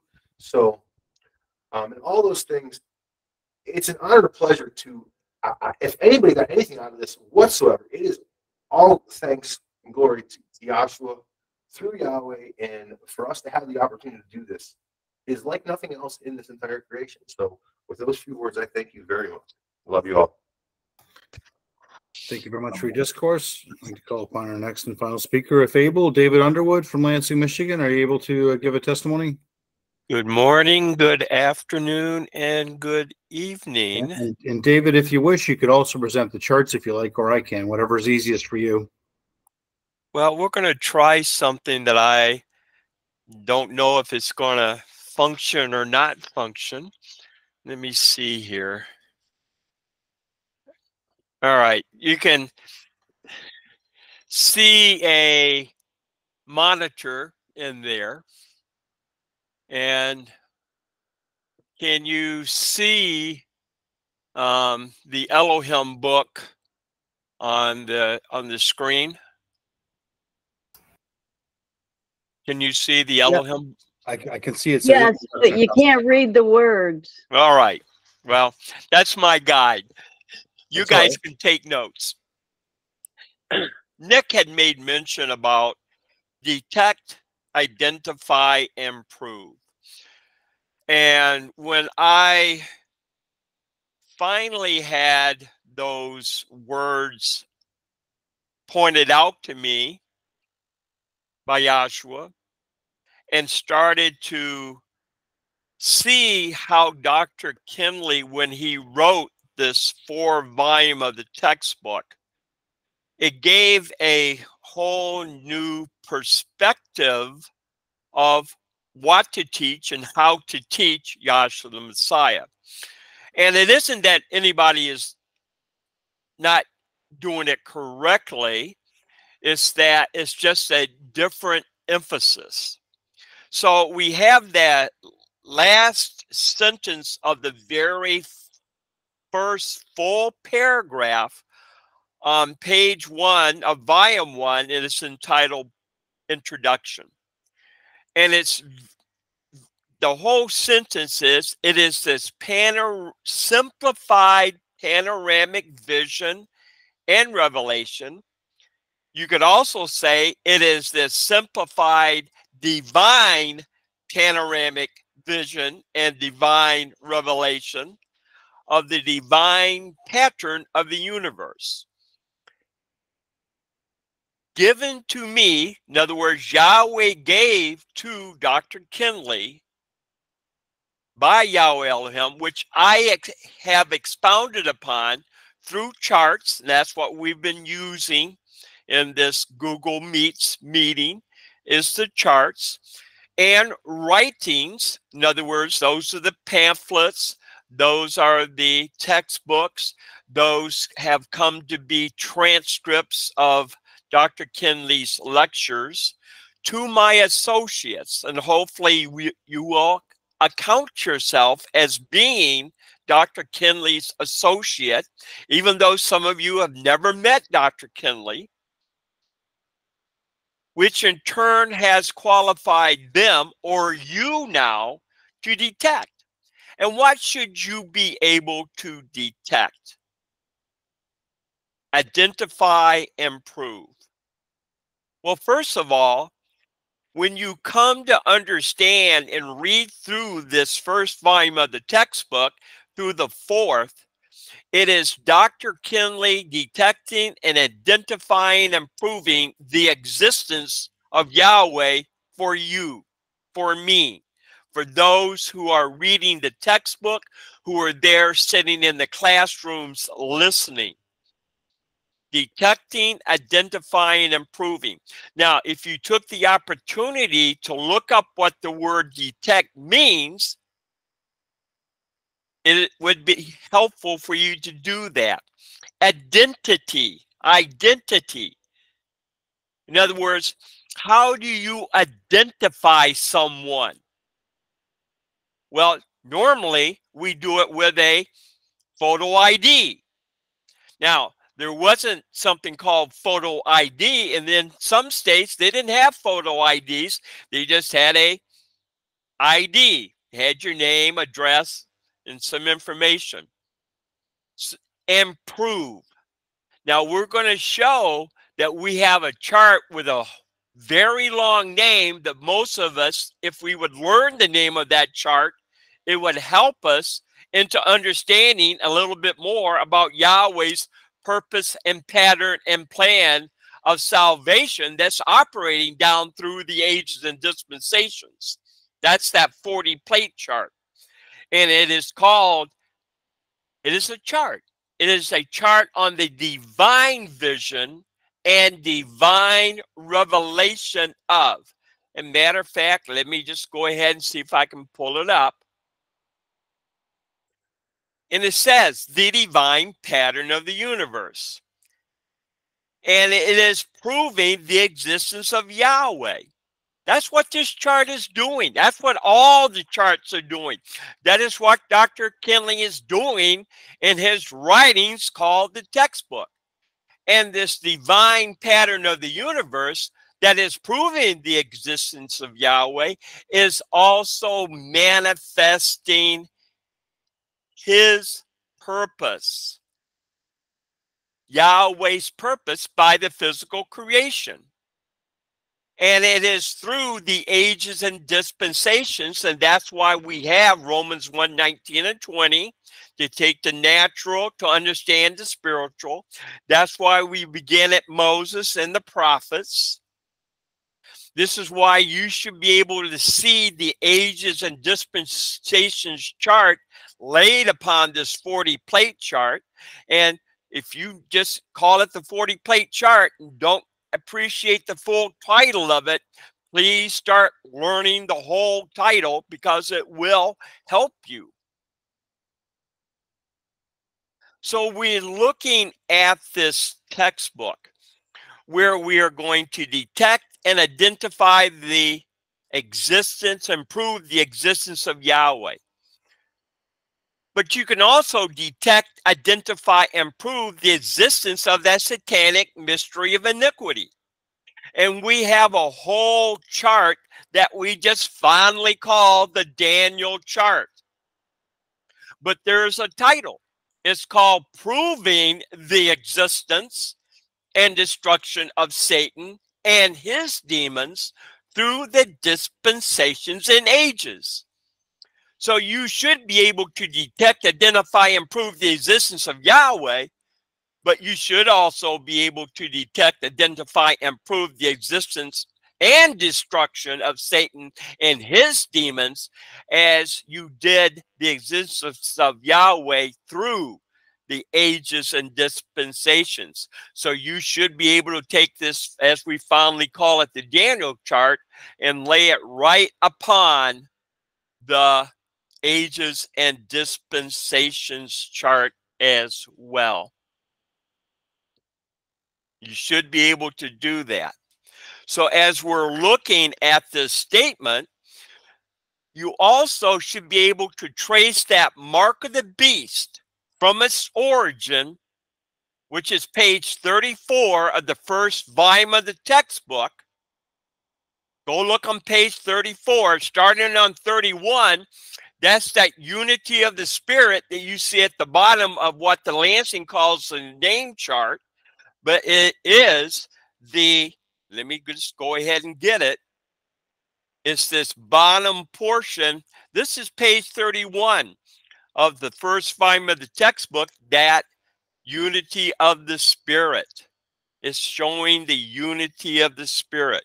So as you're looking at, let me get back there you should be able to trace that mark of the beast from its origin to its final conclusion, the lake of fire, which is page 30, uh, page, plate 38, called eschatology. And you should be able to give the definition of eschatology, which is the study of end times or end things, such as what? Immortality death, heaven, hell.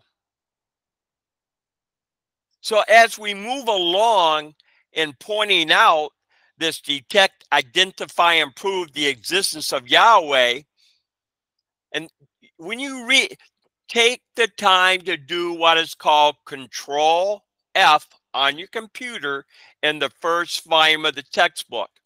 And then in the upper right hand corner, there'll be a box that comes up. Type in the word exist, and it's going to bring up exist and existence. And it comes up about 83 different times, and just bounce your way through each and every incident. So now, if we go to page 27 of the first volume of the textbook under the section Yahweh is pure spirit or Yahweh is all in all, then we are getting to that first section and the accompanying illustrations, which are Unity, Part 1, and Eternity, pages 31 and 32. The author intends to do what? Show and prove the existence of Yahweh. And he goes on to explain Yahweh first existed in totality as pure spirit, pure principle. That is to say, Yahweh is the ultimate source, infinite, immaculate substance, the incomprehensible and inscrutable principle, the all in all and eternal, independent, self existing deity without visible shape or form. And he gives his scriptures.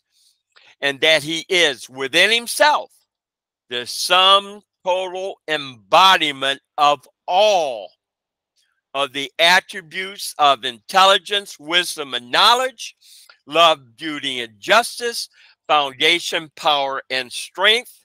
He is the limits and bounds, the source and substance. Yahweh is the terminus ad quem and terminus ad quo. So when you look at the 40 plate chart, that's why you have in plate number two called Theosophy, you see those attributes. And then those attributes come into a set shape and form, as we call the Godhead. People don't like the title Godhead, they'll say supernal nature or Yahhead. But we see the attributes in a set fixed form. So as we're looking at that's Dr. Kinley. This is page 27. Then what he comes into next is Yahweh is super incorporeal form. And then he comes in Yahweh Elohim is manifested in physical form. And that comes into page 31 here. This is unity of the spirit. Yahweh, our Elohim, is Yahweh a unity. This is that bottom portion of the Lansing name chart. And this is showing pure spirit is one, Yahweh. And it would be nice if we could put the attributes in there like we do on the Moses chart, because we do on the Moses chart. We go to the Moses chart and we point out the attributes there in that cloud, which is showing Yahweh is spirit, Yahweh is pure spirit. So as we are moving on, now we're going to go all the way on down to page 57. And this section of the first volume of the textbook, the divine pattern of the universe. And then this is where Dr. Kinley is going to go in and he's going to have that series number two. He's going to have that 40 foot chart. He's going to have the 40 plate chart. He's going to have those illustrations. But he, we come down to that last sentence of that paragraph. These events, as illustrated on the chart, series number two, reveals the identity and proves the existence of Yahweh, the mystery of iniquity, and the mark of the beast through the dispensations and ages. We're trying to get you to see how Dr. Kinley has laid out, detect, identify, and prove the existence of Yahweh, the satanic mystery of iniquity, and tracing that mark of the beast down through the ages and dispensations. And Dr. Kinley in this section says, time and space will not permit every comparison in detail because he, Dr. Kinley, is going to compare all the 30 other, well, he actually goes through plate 13, which is the migratory pattern, to that first key plate, which is entitled the pattern that we see here in black and white and he uses convention of A for the most holy place, B for that second veil, C for the holy place, D for the first veil or door, and E for the court round about. So he uses that convention. So when you are at plate 28, A, you know to look in the most holy place. Or if you said plate 28E, you know to look in the court roundabout. Or if you go 29C, now you know to go to the holy place. Now, in workshops, we go a little bit further in that we also color code because when we look at our name chart at the very top, we have Yahweh that is symbolic in blue. And then we have Elohim in purple, and we see Yahshua in scarlet. And we know that if you mix blue and scarlet together, you're going to get that intermediary color called purple. And then we see the uh, tabernacle representations. Most holy places, blue, holy places purple, and court roundabout is scarlet. And again, you have gas. That steam is seen. It's a veil. And then you have the liquid, and then you come down into solid. So you have a color coding. Yahweh represented by blue, purple representing Elohim, and scarlet representing Yahshua the Messiah. So it's only going to be a few limited examples that Dr. Kinley is going to use because in this section he's going to compare plate number one and plate number 36, which is unity of the spirit. Then he's going to take five plates to depict and illustrate Yahweh, who is spirit, or define Yahweh, which is spirit. And then he's going to do the chaosis or cosmogony and chaosis. And then he's going to do the first and second day and on through.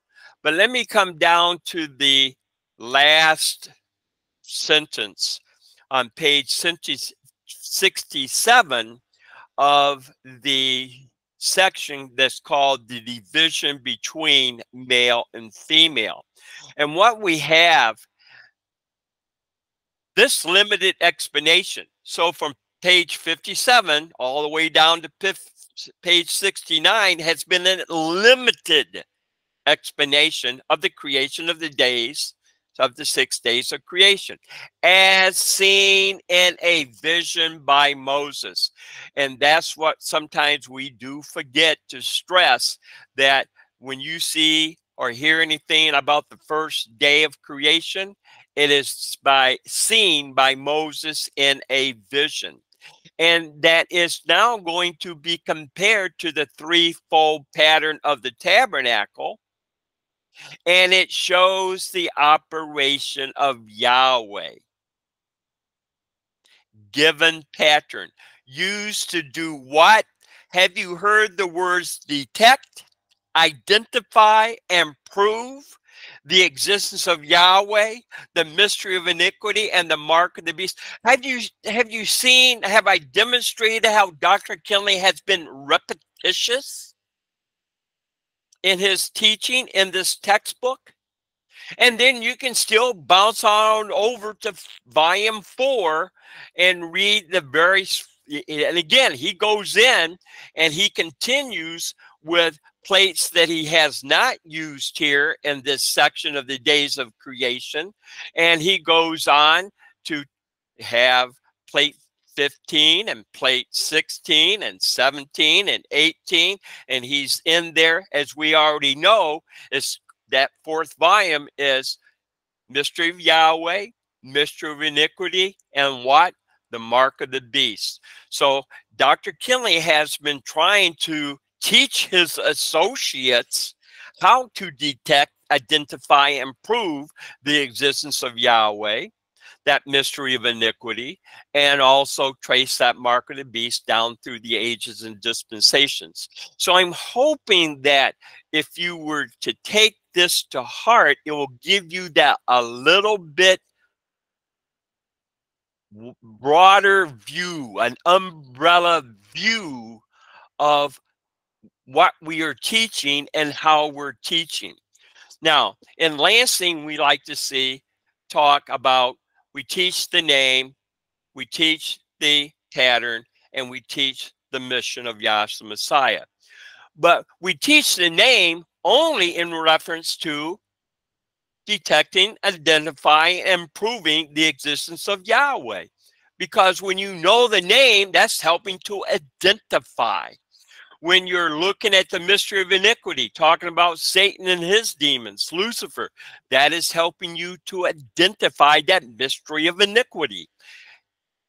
Eh, hopefully, that's making sense to you. Now, we had someone make a reference to, um, let me see, where did I go? I know I had it up earlier. Let me see if I can, there we go we we talked about scatter scatter how yahweh has scattered his people. And this document that you see on your screen about scatter and gather. If you take the opportunity to go in and take those words scatter and run law prophets fulfillment and spiritual reality you will learn something a little bit more about how Yahweh scattered his people.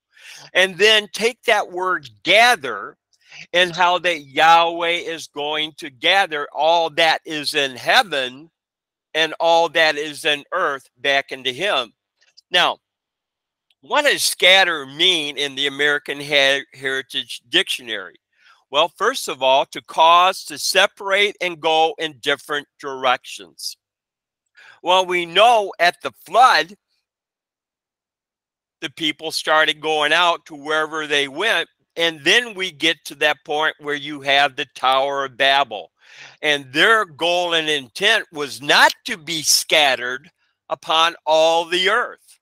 And Yahweh, when you read there in Genesis, came down and saw, hey, these are all of like mindedness. Let's go down and confuse their tongues. And when that confusion of tongues took place, then all the theories, opinions, and imaginations that were there in um, that Babylon, that confusion, it was spread to the four corners of the earth.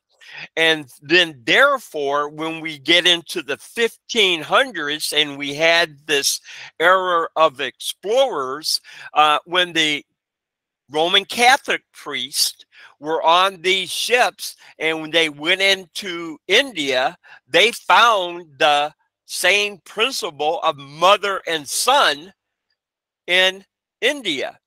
And they said, well, don't you, you don't need to call them uh, by your Indian names, call them Mother, Madonna, and Jesus. And then when they went into China, the same thing. There's that principle of mother and son because you had that back there in Babylon with Semiramis and Tammuz. Now, what we have is to distribute something loosely, strew it. To strew something over, like a surface. Third, to diffuse or deflect radiation and particles. To separate and go in different directions. The act of scattering or the condition of being scattered, something scattered. And you have synonyms scatter, disperse, dissipate. Then let me see. I haven't been to this doc, uh, document. Dispel. This verb means to cause a mass or aggregate to separate and go in different directions. And we, Dr. Kinley, talked about a coring mass of, of an amalgamation. Well, that's all in one lack of a better phrase, an amalgamation. But now it's going to have to separate and go into those different atoms and makeups. Scatter refers to loose or haphazard distribution of components. Disperse implies the complete breaking up of the mass or aggregate. Remember, there was Israel, all of one nation, and then Yahweh started to disperse them out to the Assyrians and Babylonians and to the other nations. And we'll find that as we read through the law, prophets, and fulfillment of scatter. And then we'll find out the reality also, what that means. And also when we run the word gather. And so you go on through and you can read through the information.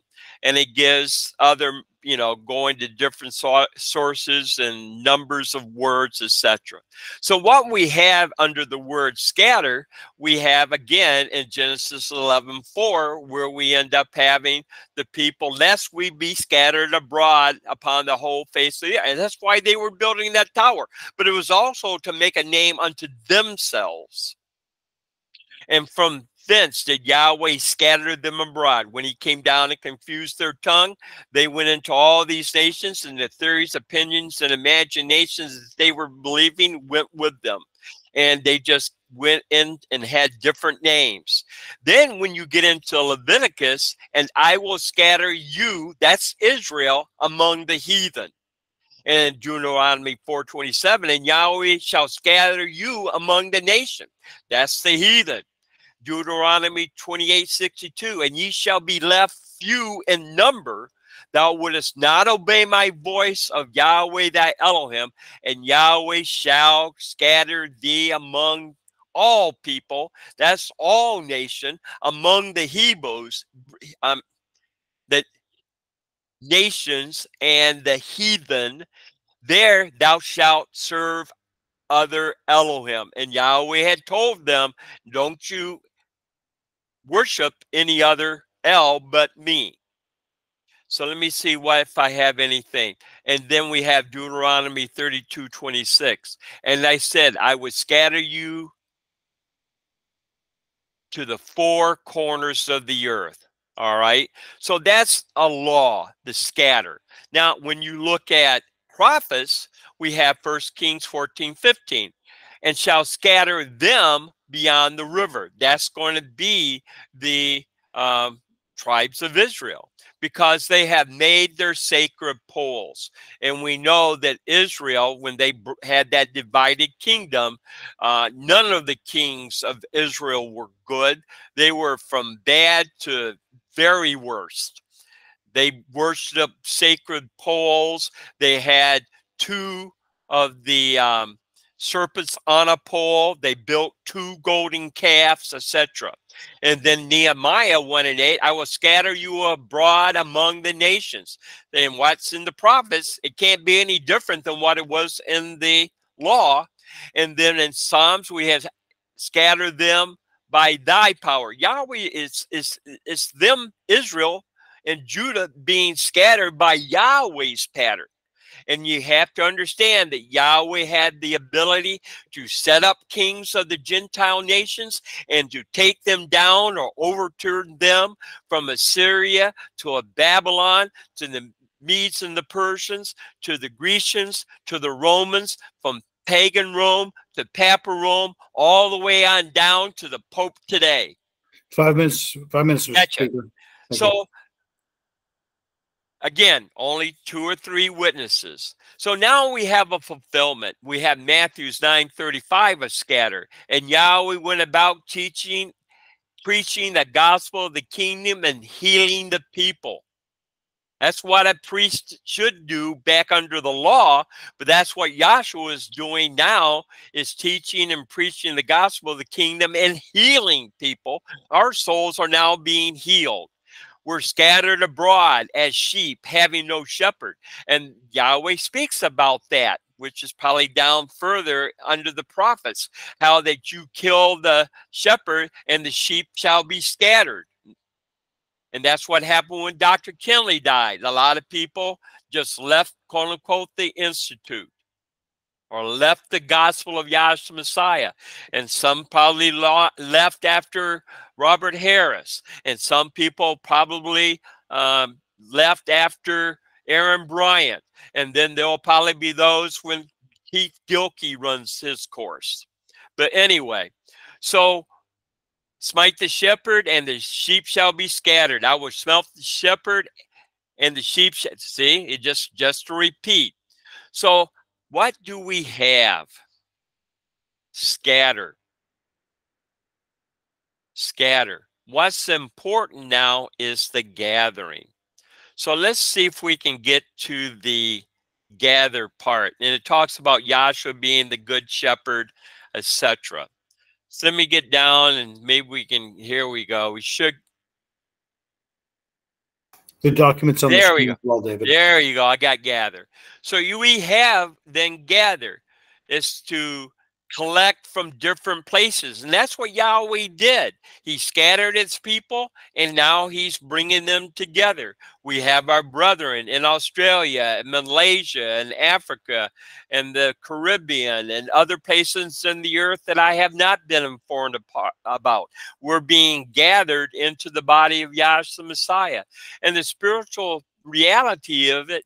Now we beseech you, brethren, by the coming of our Savior Yahshua Messiah and by our gathering together unto him. And that's what I call our Sunday, Sunday morning meeting at seven o'clock. Gathering in Yahshua. And then we talked about it in Ephesians 1:10 that in the dispensation of the fullness of times he might gather together in one, that's Yahshua Messiah, all in heaven and all in earth in him. That's those souls in us and the angels that remained with him. And then you have Revelation, the 19th chapter. And I saw an angel standing in the sun, and he cried with a loud voice. And it goes on and saying, Come and gather yourselves together unto the supper of the great Elohim. So take that opportunity to research, gather, scatter, and gather go law, prophets, fulfillment. That will also give you an understanding about how Yahweh has been working his purpose and pattern and plan salvation down through the ages and dispensations. And it looks like I'm over time. Thank you, Lionel. Thank you very much. Peace and love in Yahshua. Um, we'll do some other announcements, discussions, or questions after the doxology. I did pop in the chat that there's the uh, North Texas Zoom class that takes place at uh, 3 Eastern Time or 2 Central Time. So basically, uh, two hours from now for those that are able to attend that. And uh, next weekend is there's the Gates Picnic. Arkport has a class on Thursday at 6:30 at the Maple City Inn, Best Western, I think it is. That's 6 6:30. Friday there's a class 6:30 in Gates at the. Uh, uh, if you need the site, I can certainly let you know. And then they're having class Syracuse at seven seven o'clock on Saturday, and then a picnic uh, class at eleven o'clock at Mendon Ponds at one of the halls there.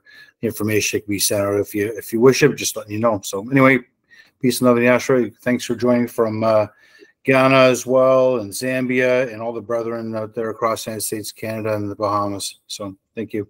Go ahead with the doxology, Nick, when able. All right. Just to reiterate, thank you everyone for joining us. We truly appreciate it. If we could all stand for the doxology, taken from the last two verses of the book of Jude. Stand your heart, mind, physically, whatever you possibly can. Now unto him who is able to keep you from falling and present you faultless before the presence of his glory with exceeding joy. The only wise Elohim, our Savior, through Yahshua the Messiah, our sovereign, belong glory and majesty, dominion and power, both now for all time. Let's all say, Hallelujah. Hallelujah. Hallelujah.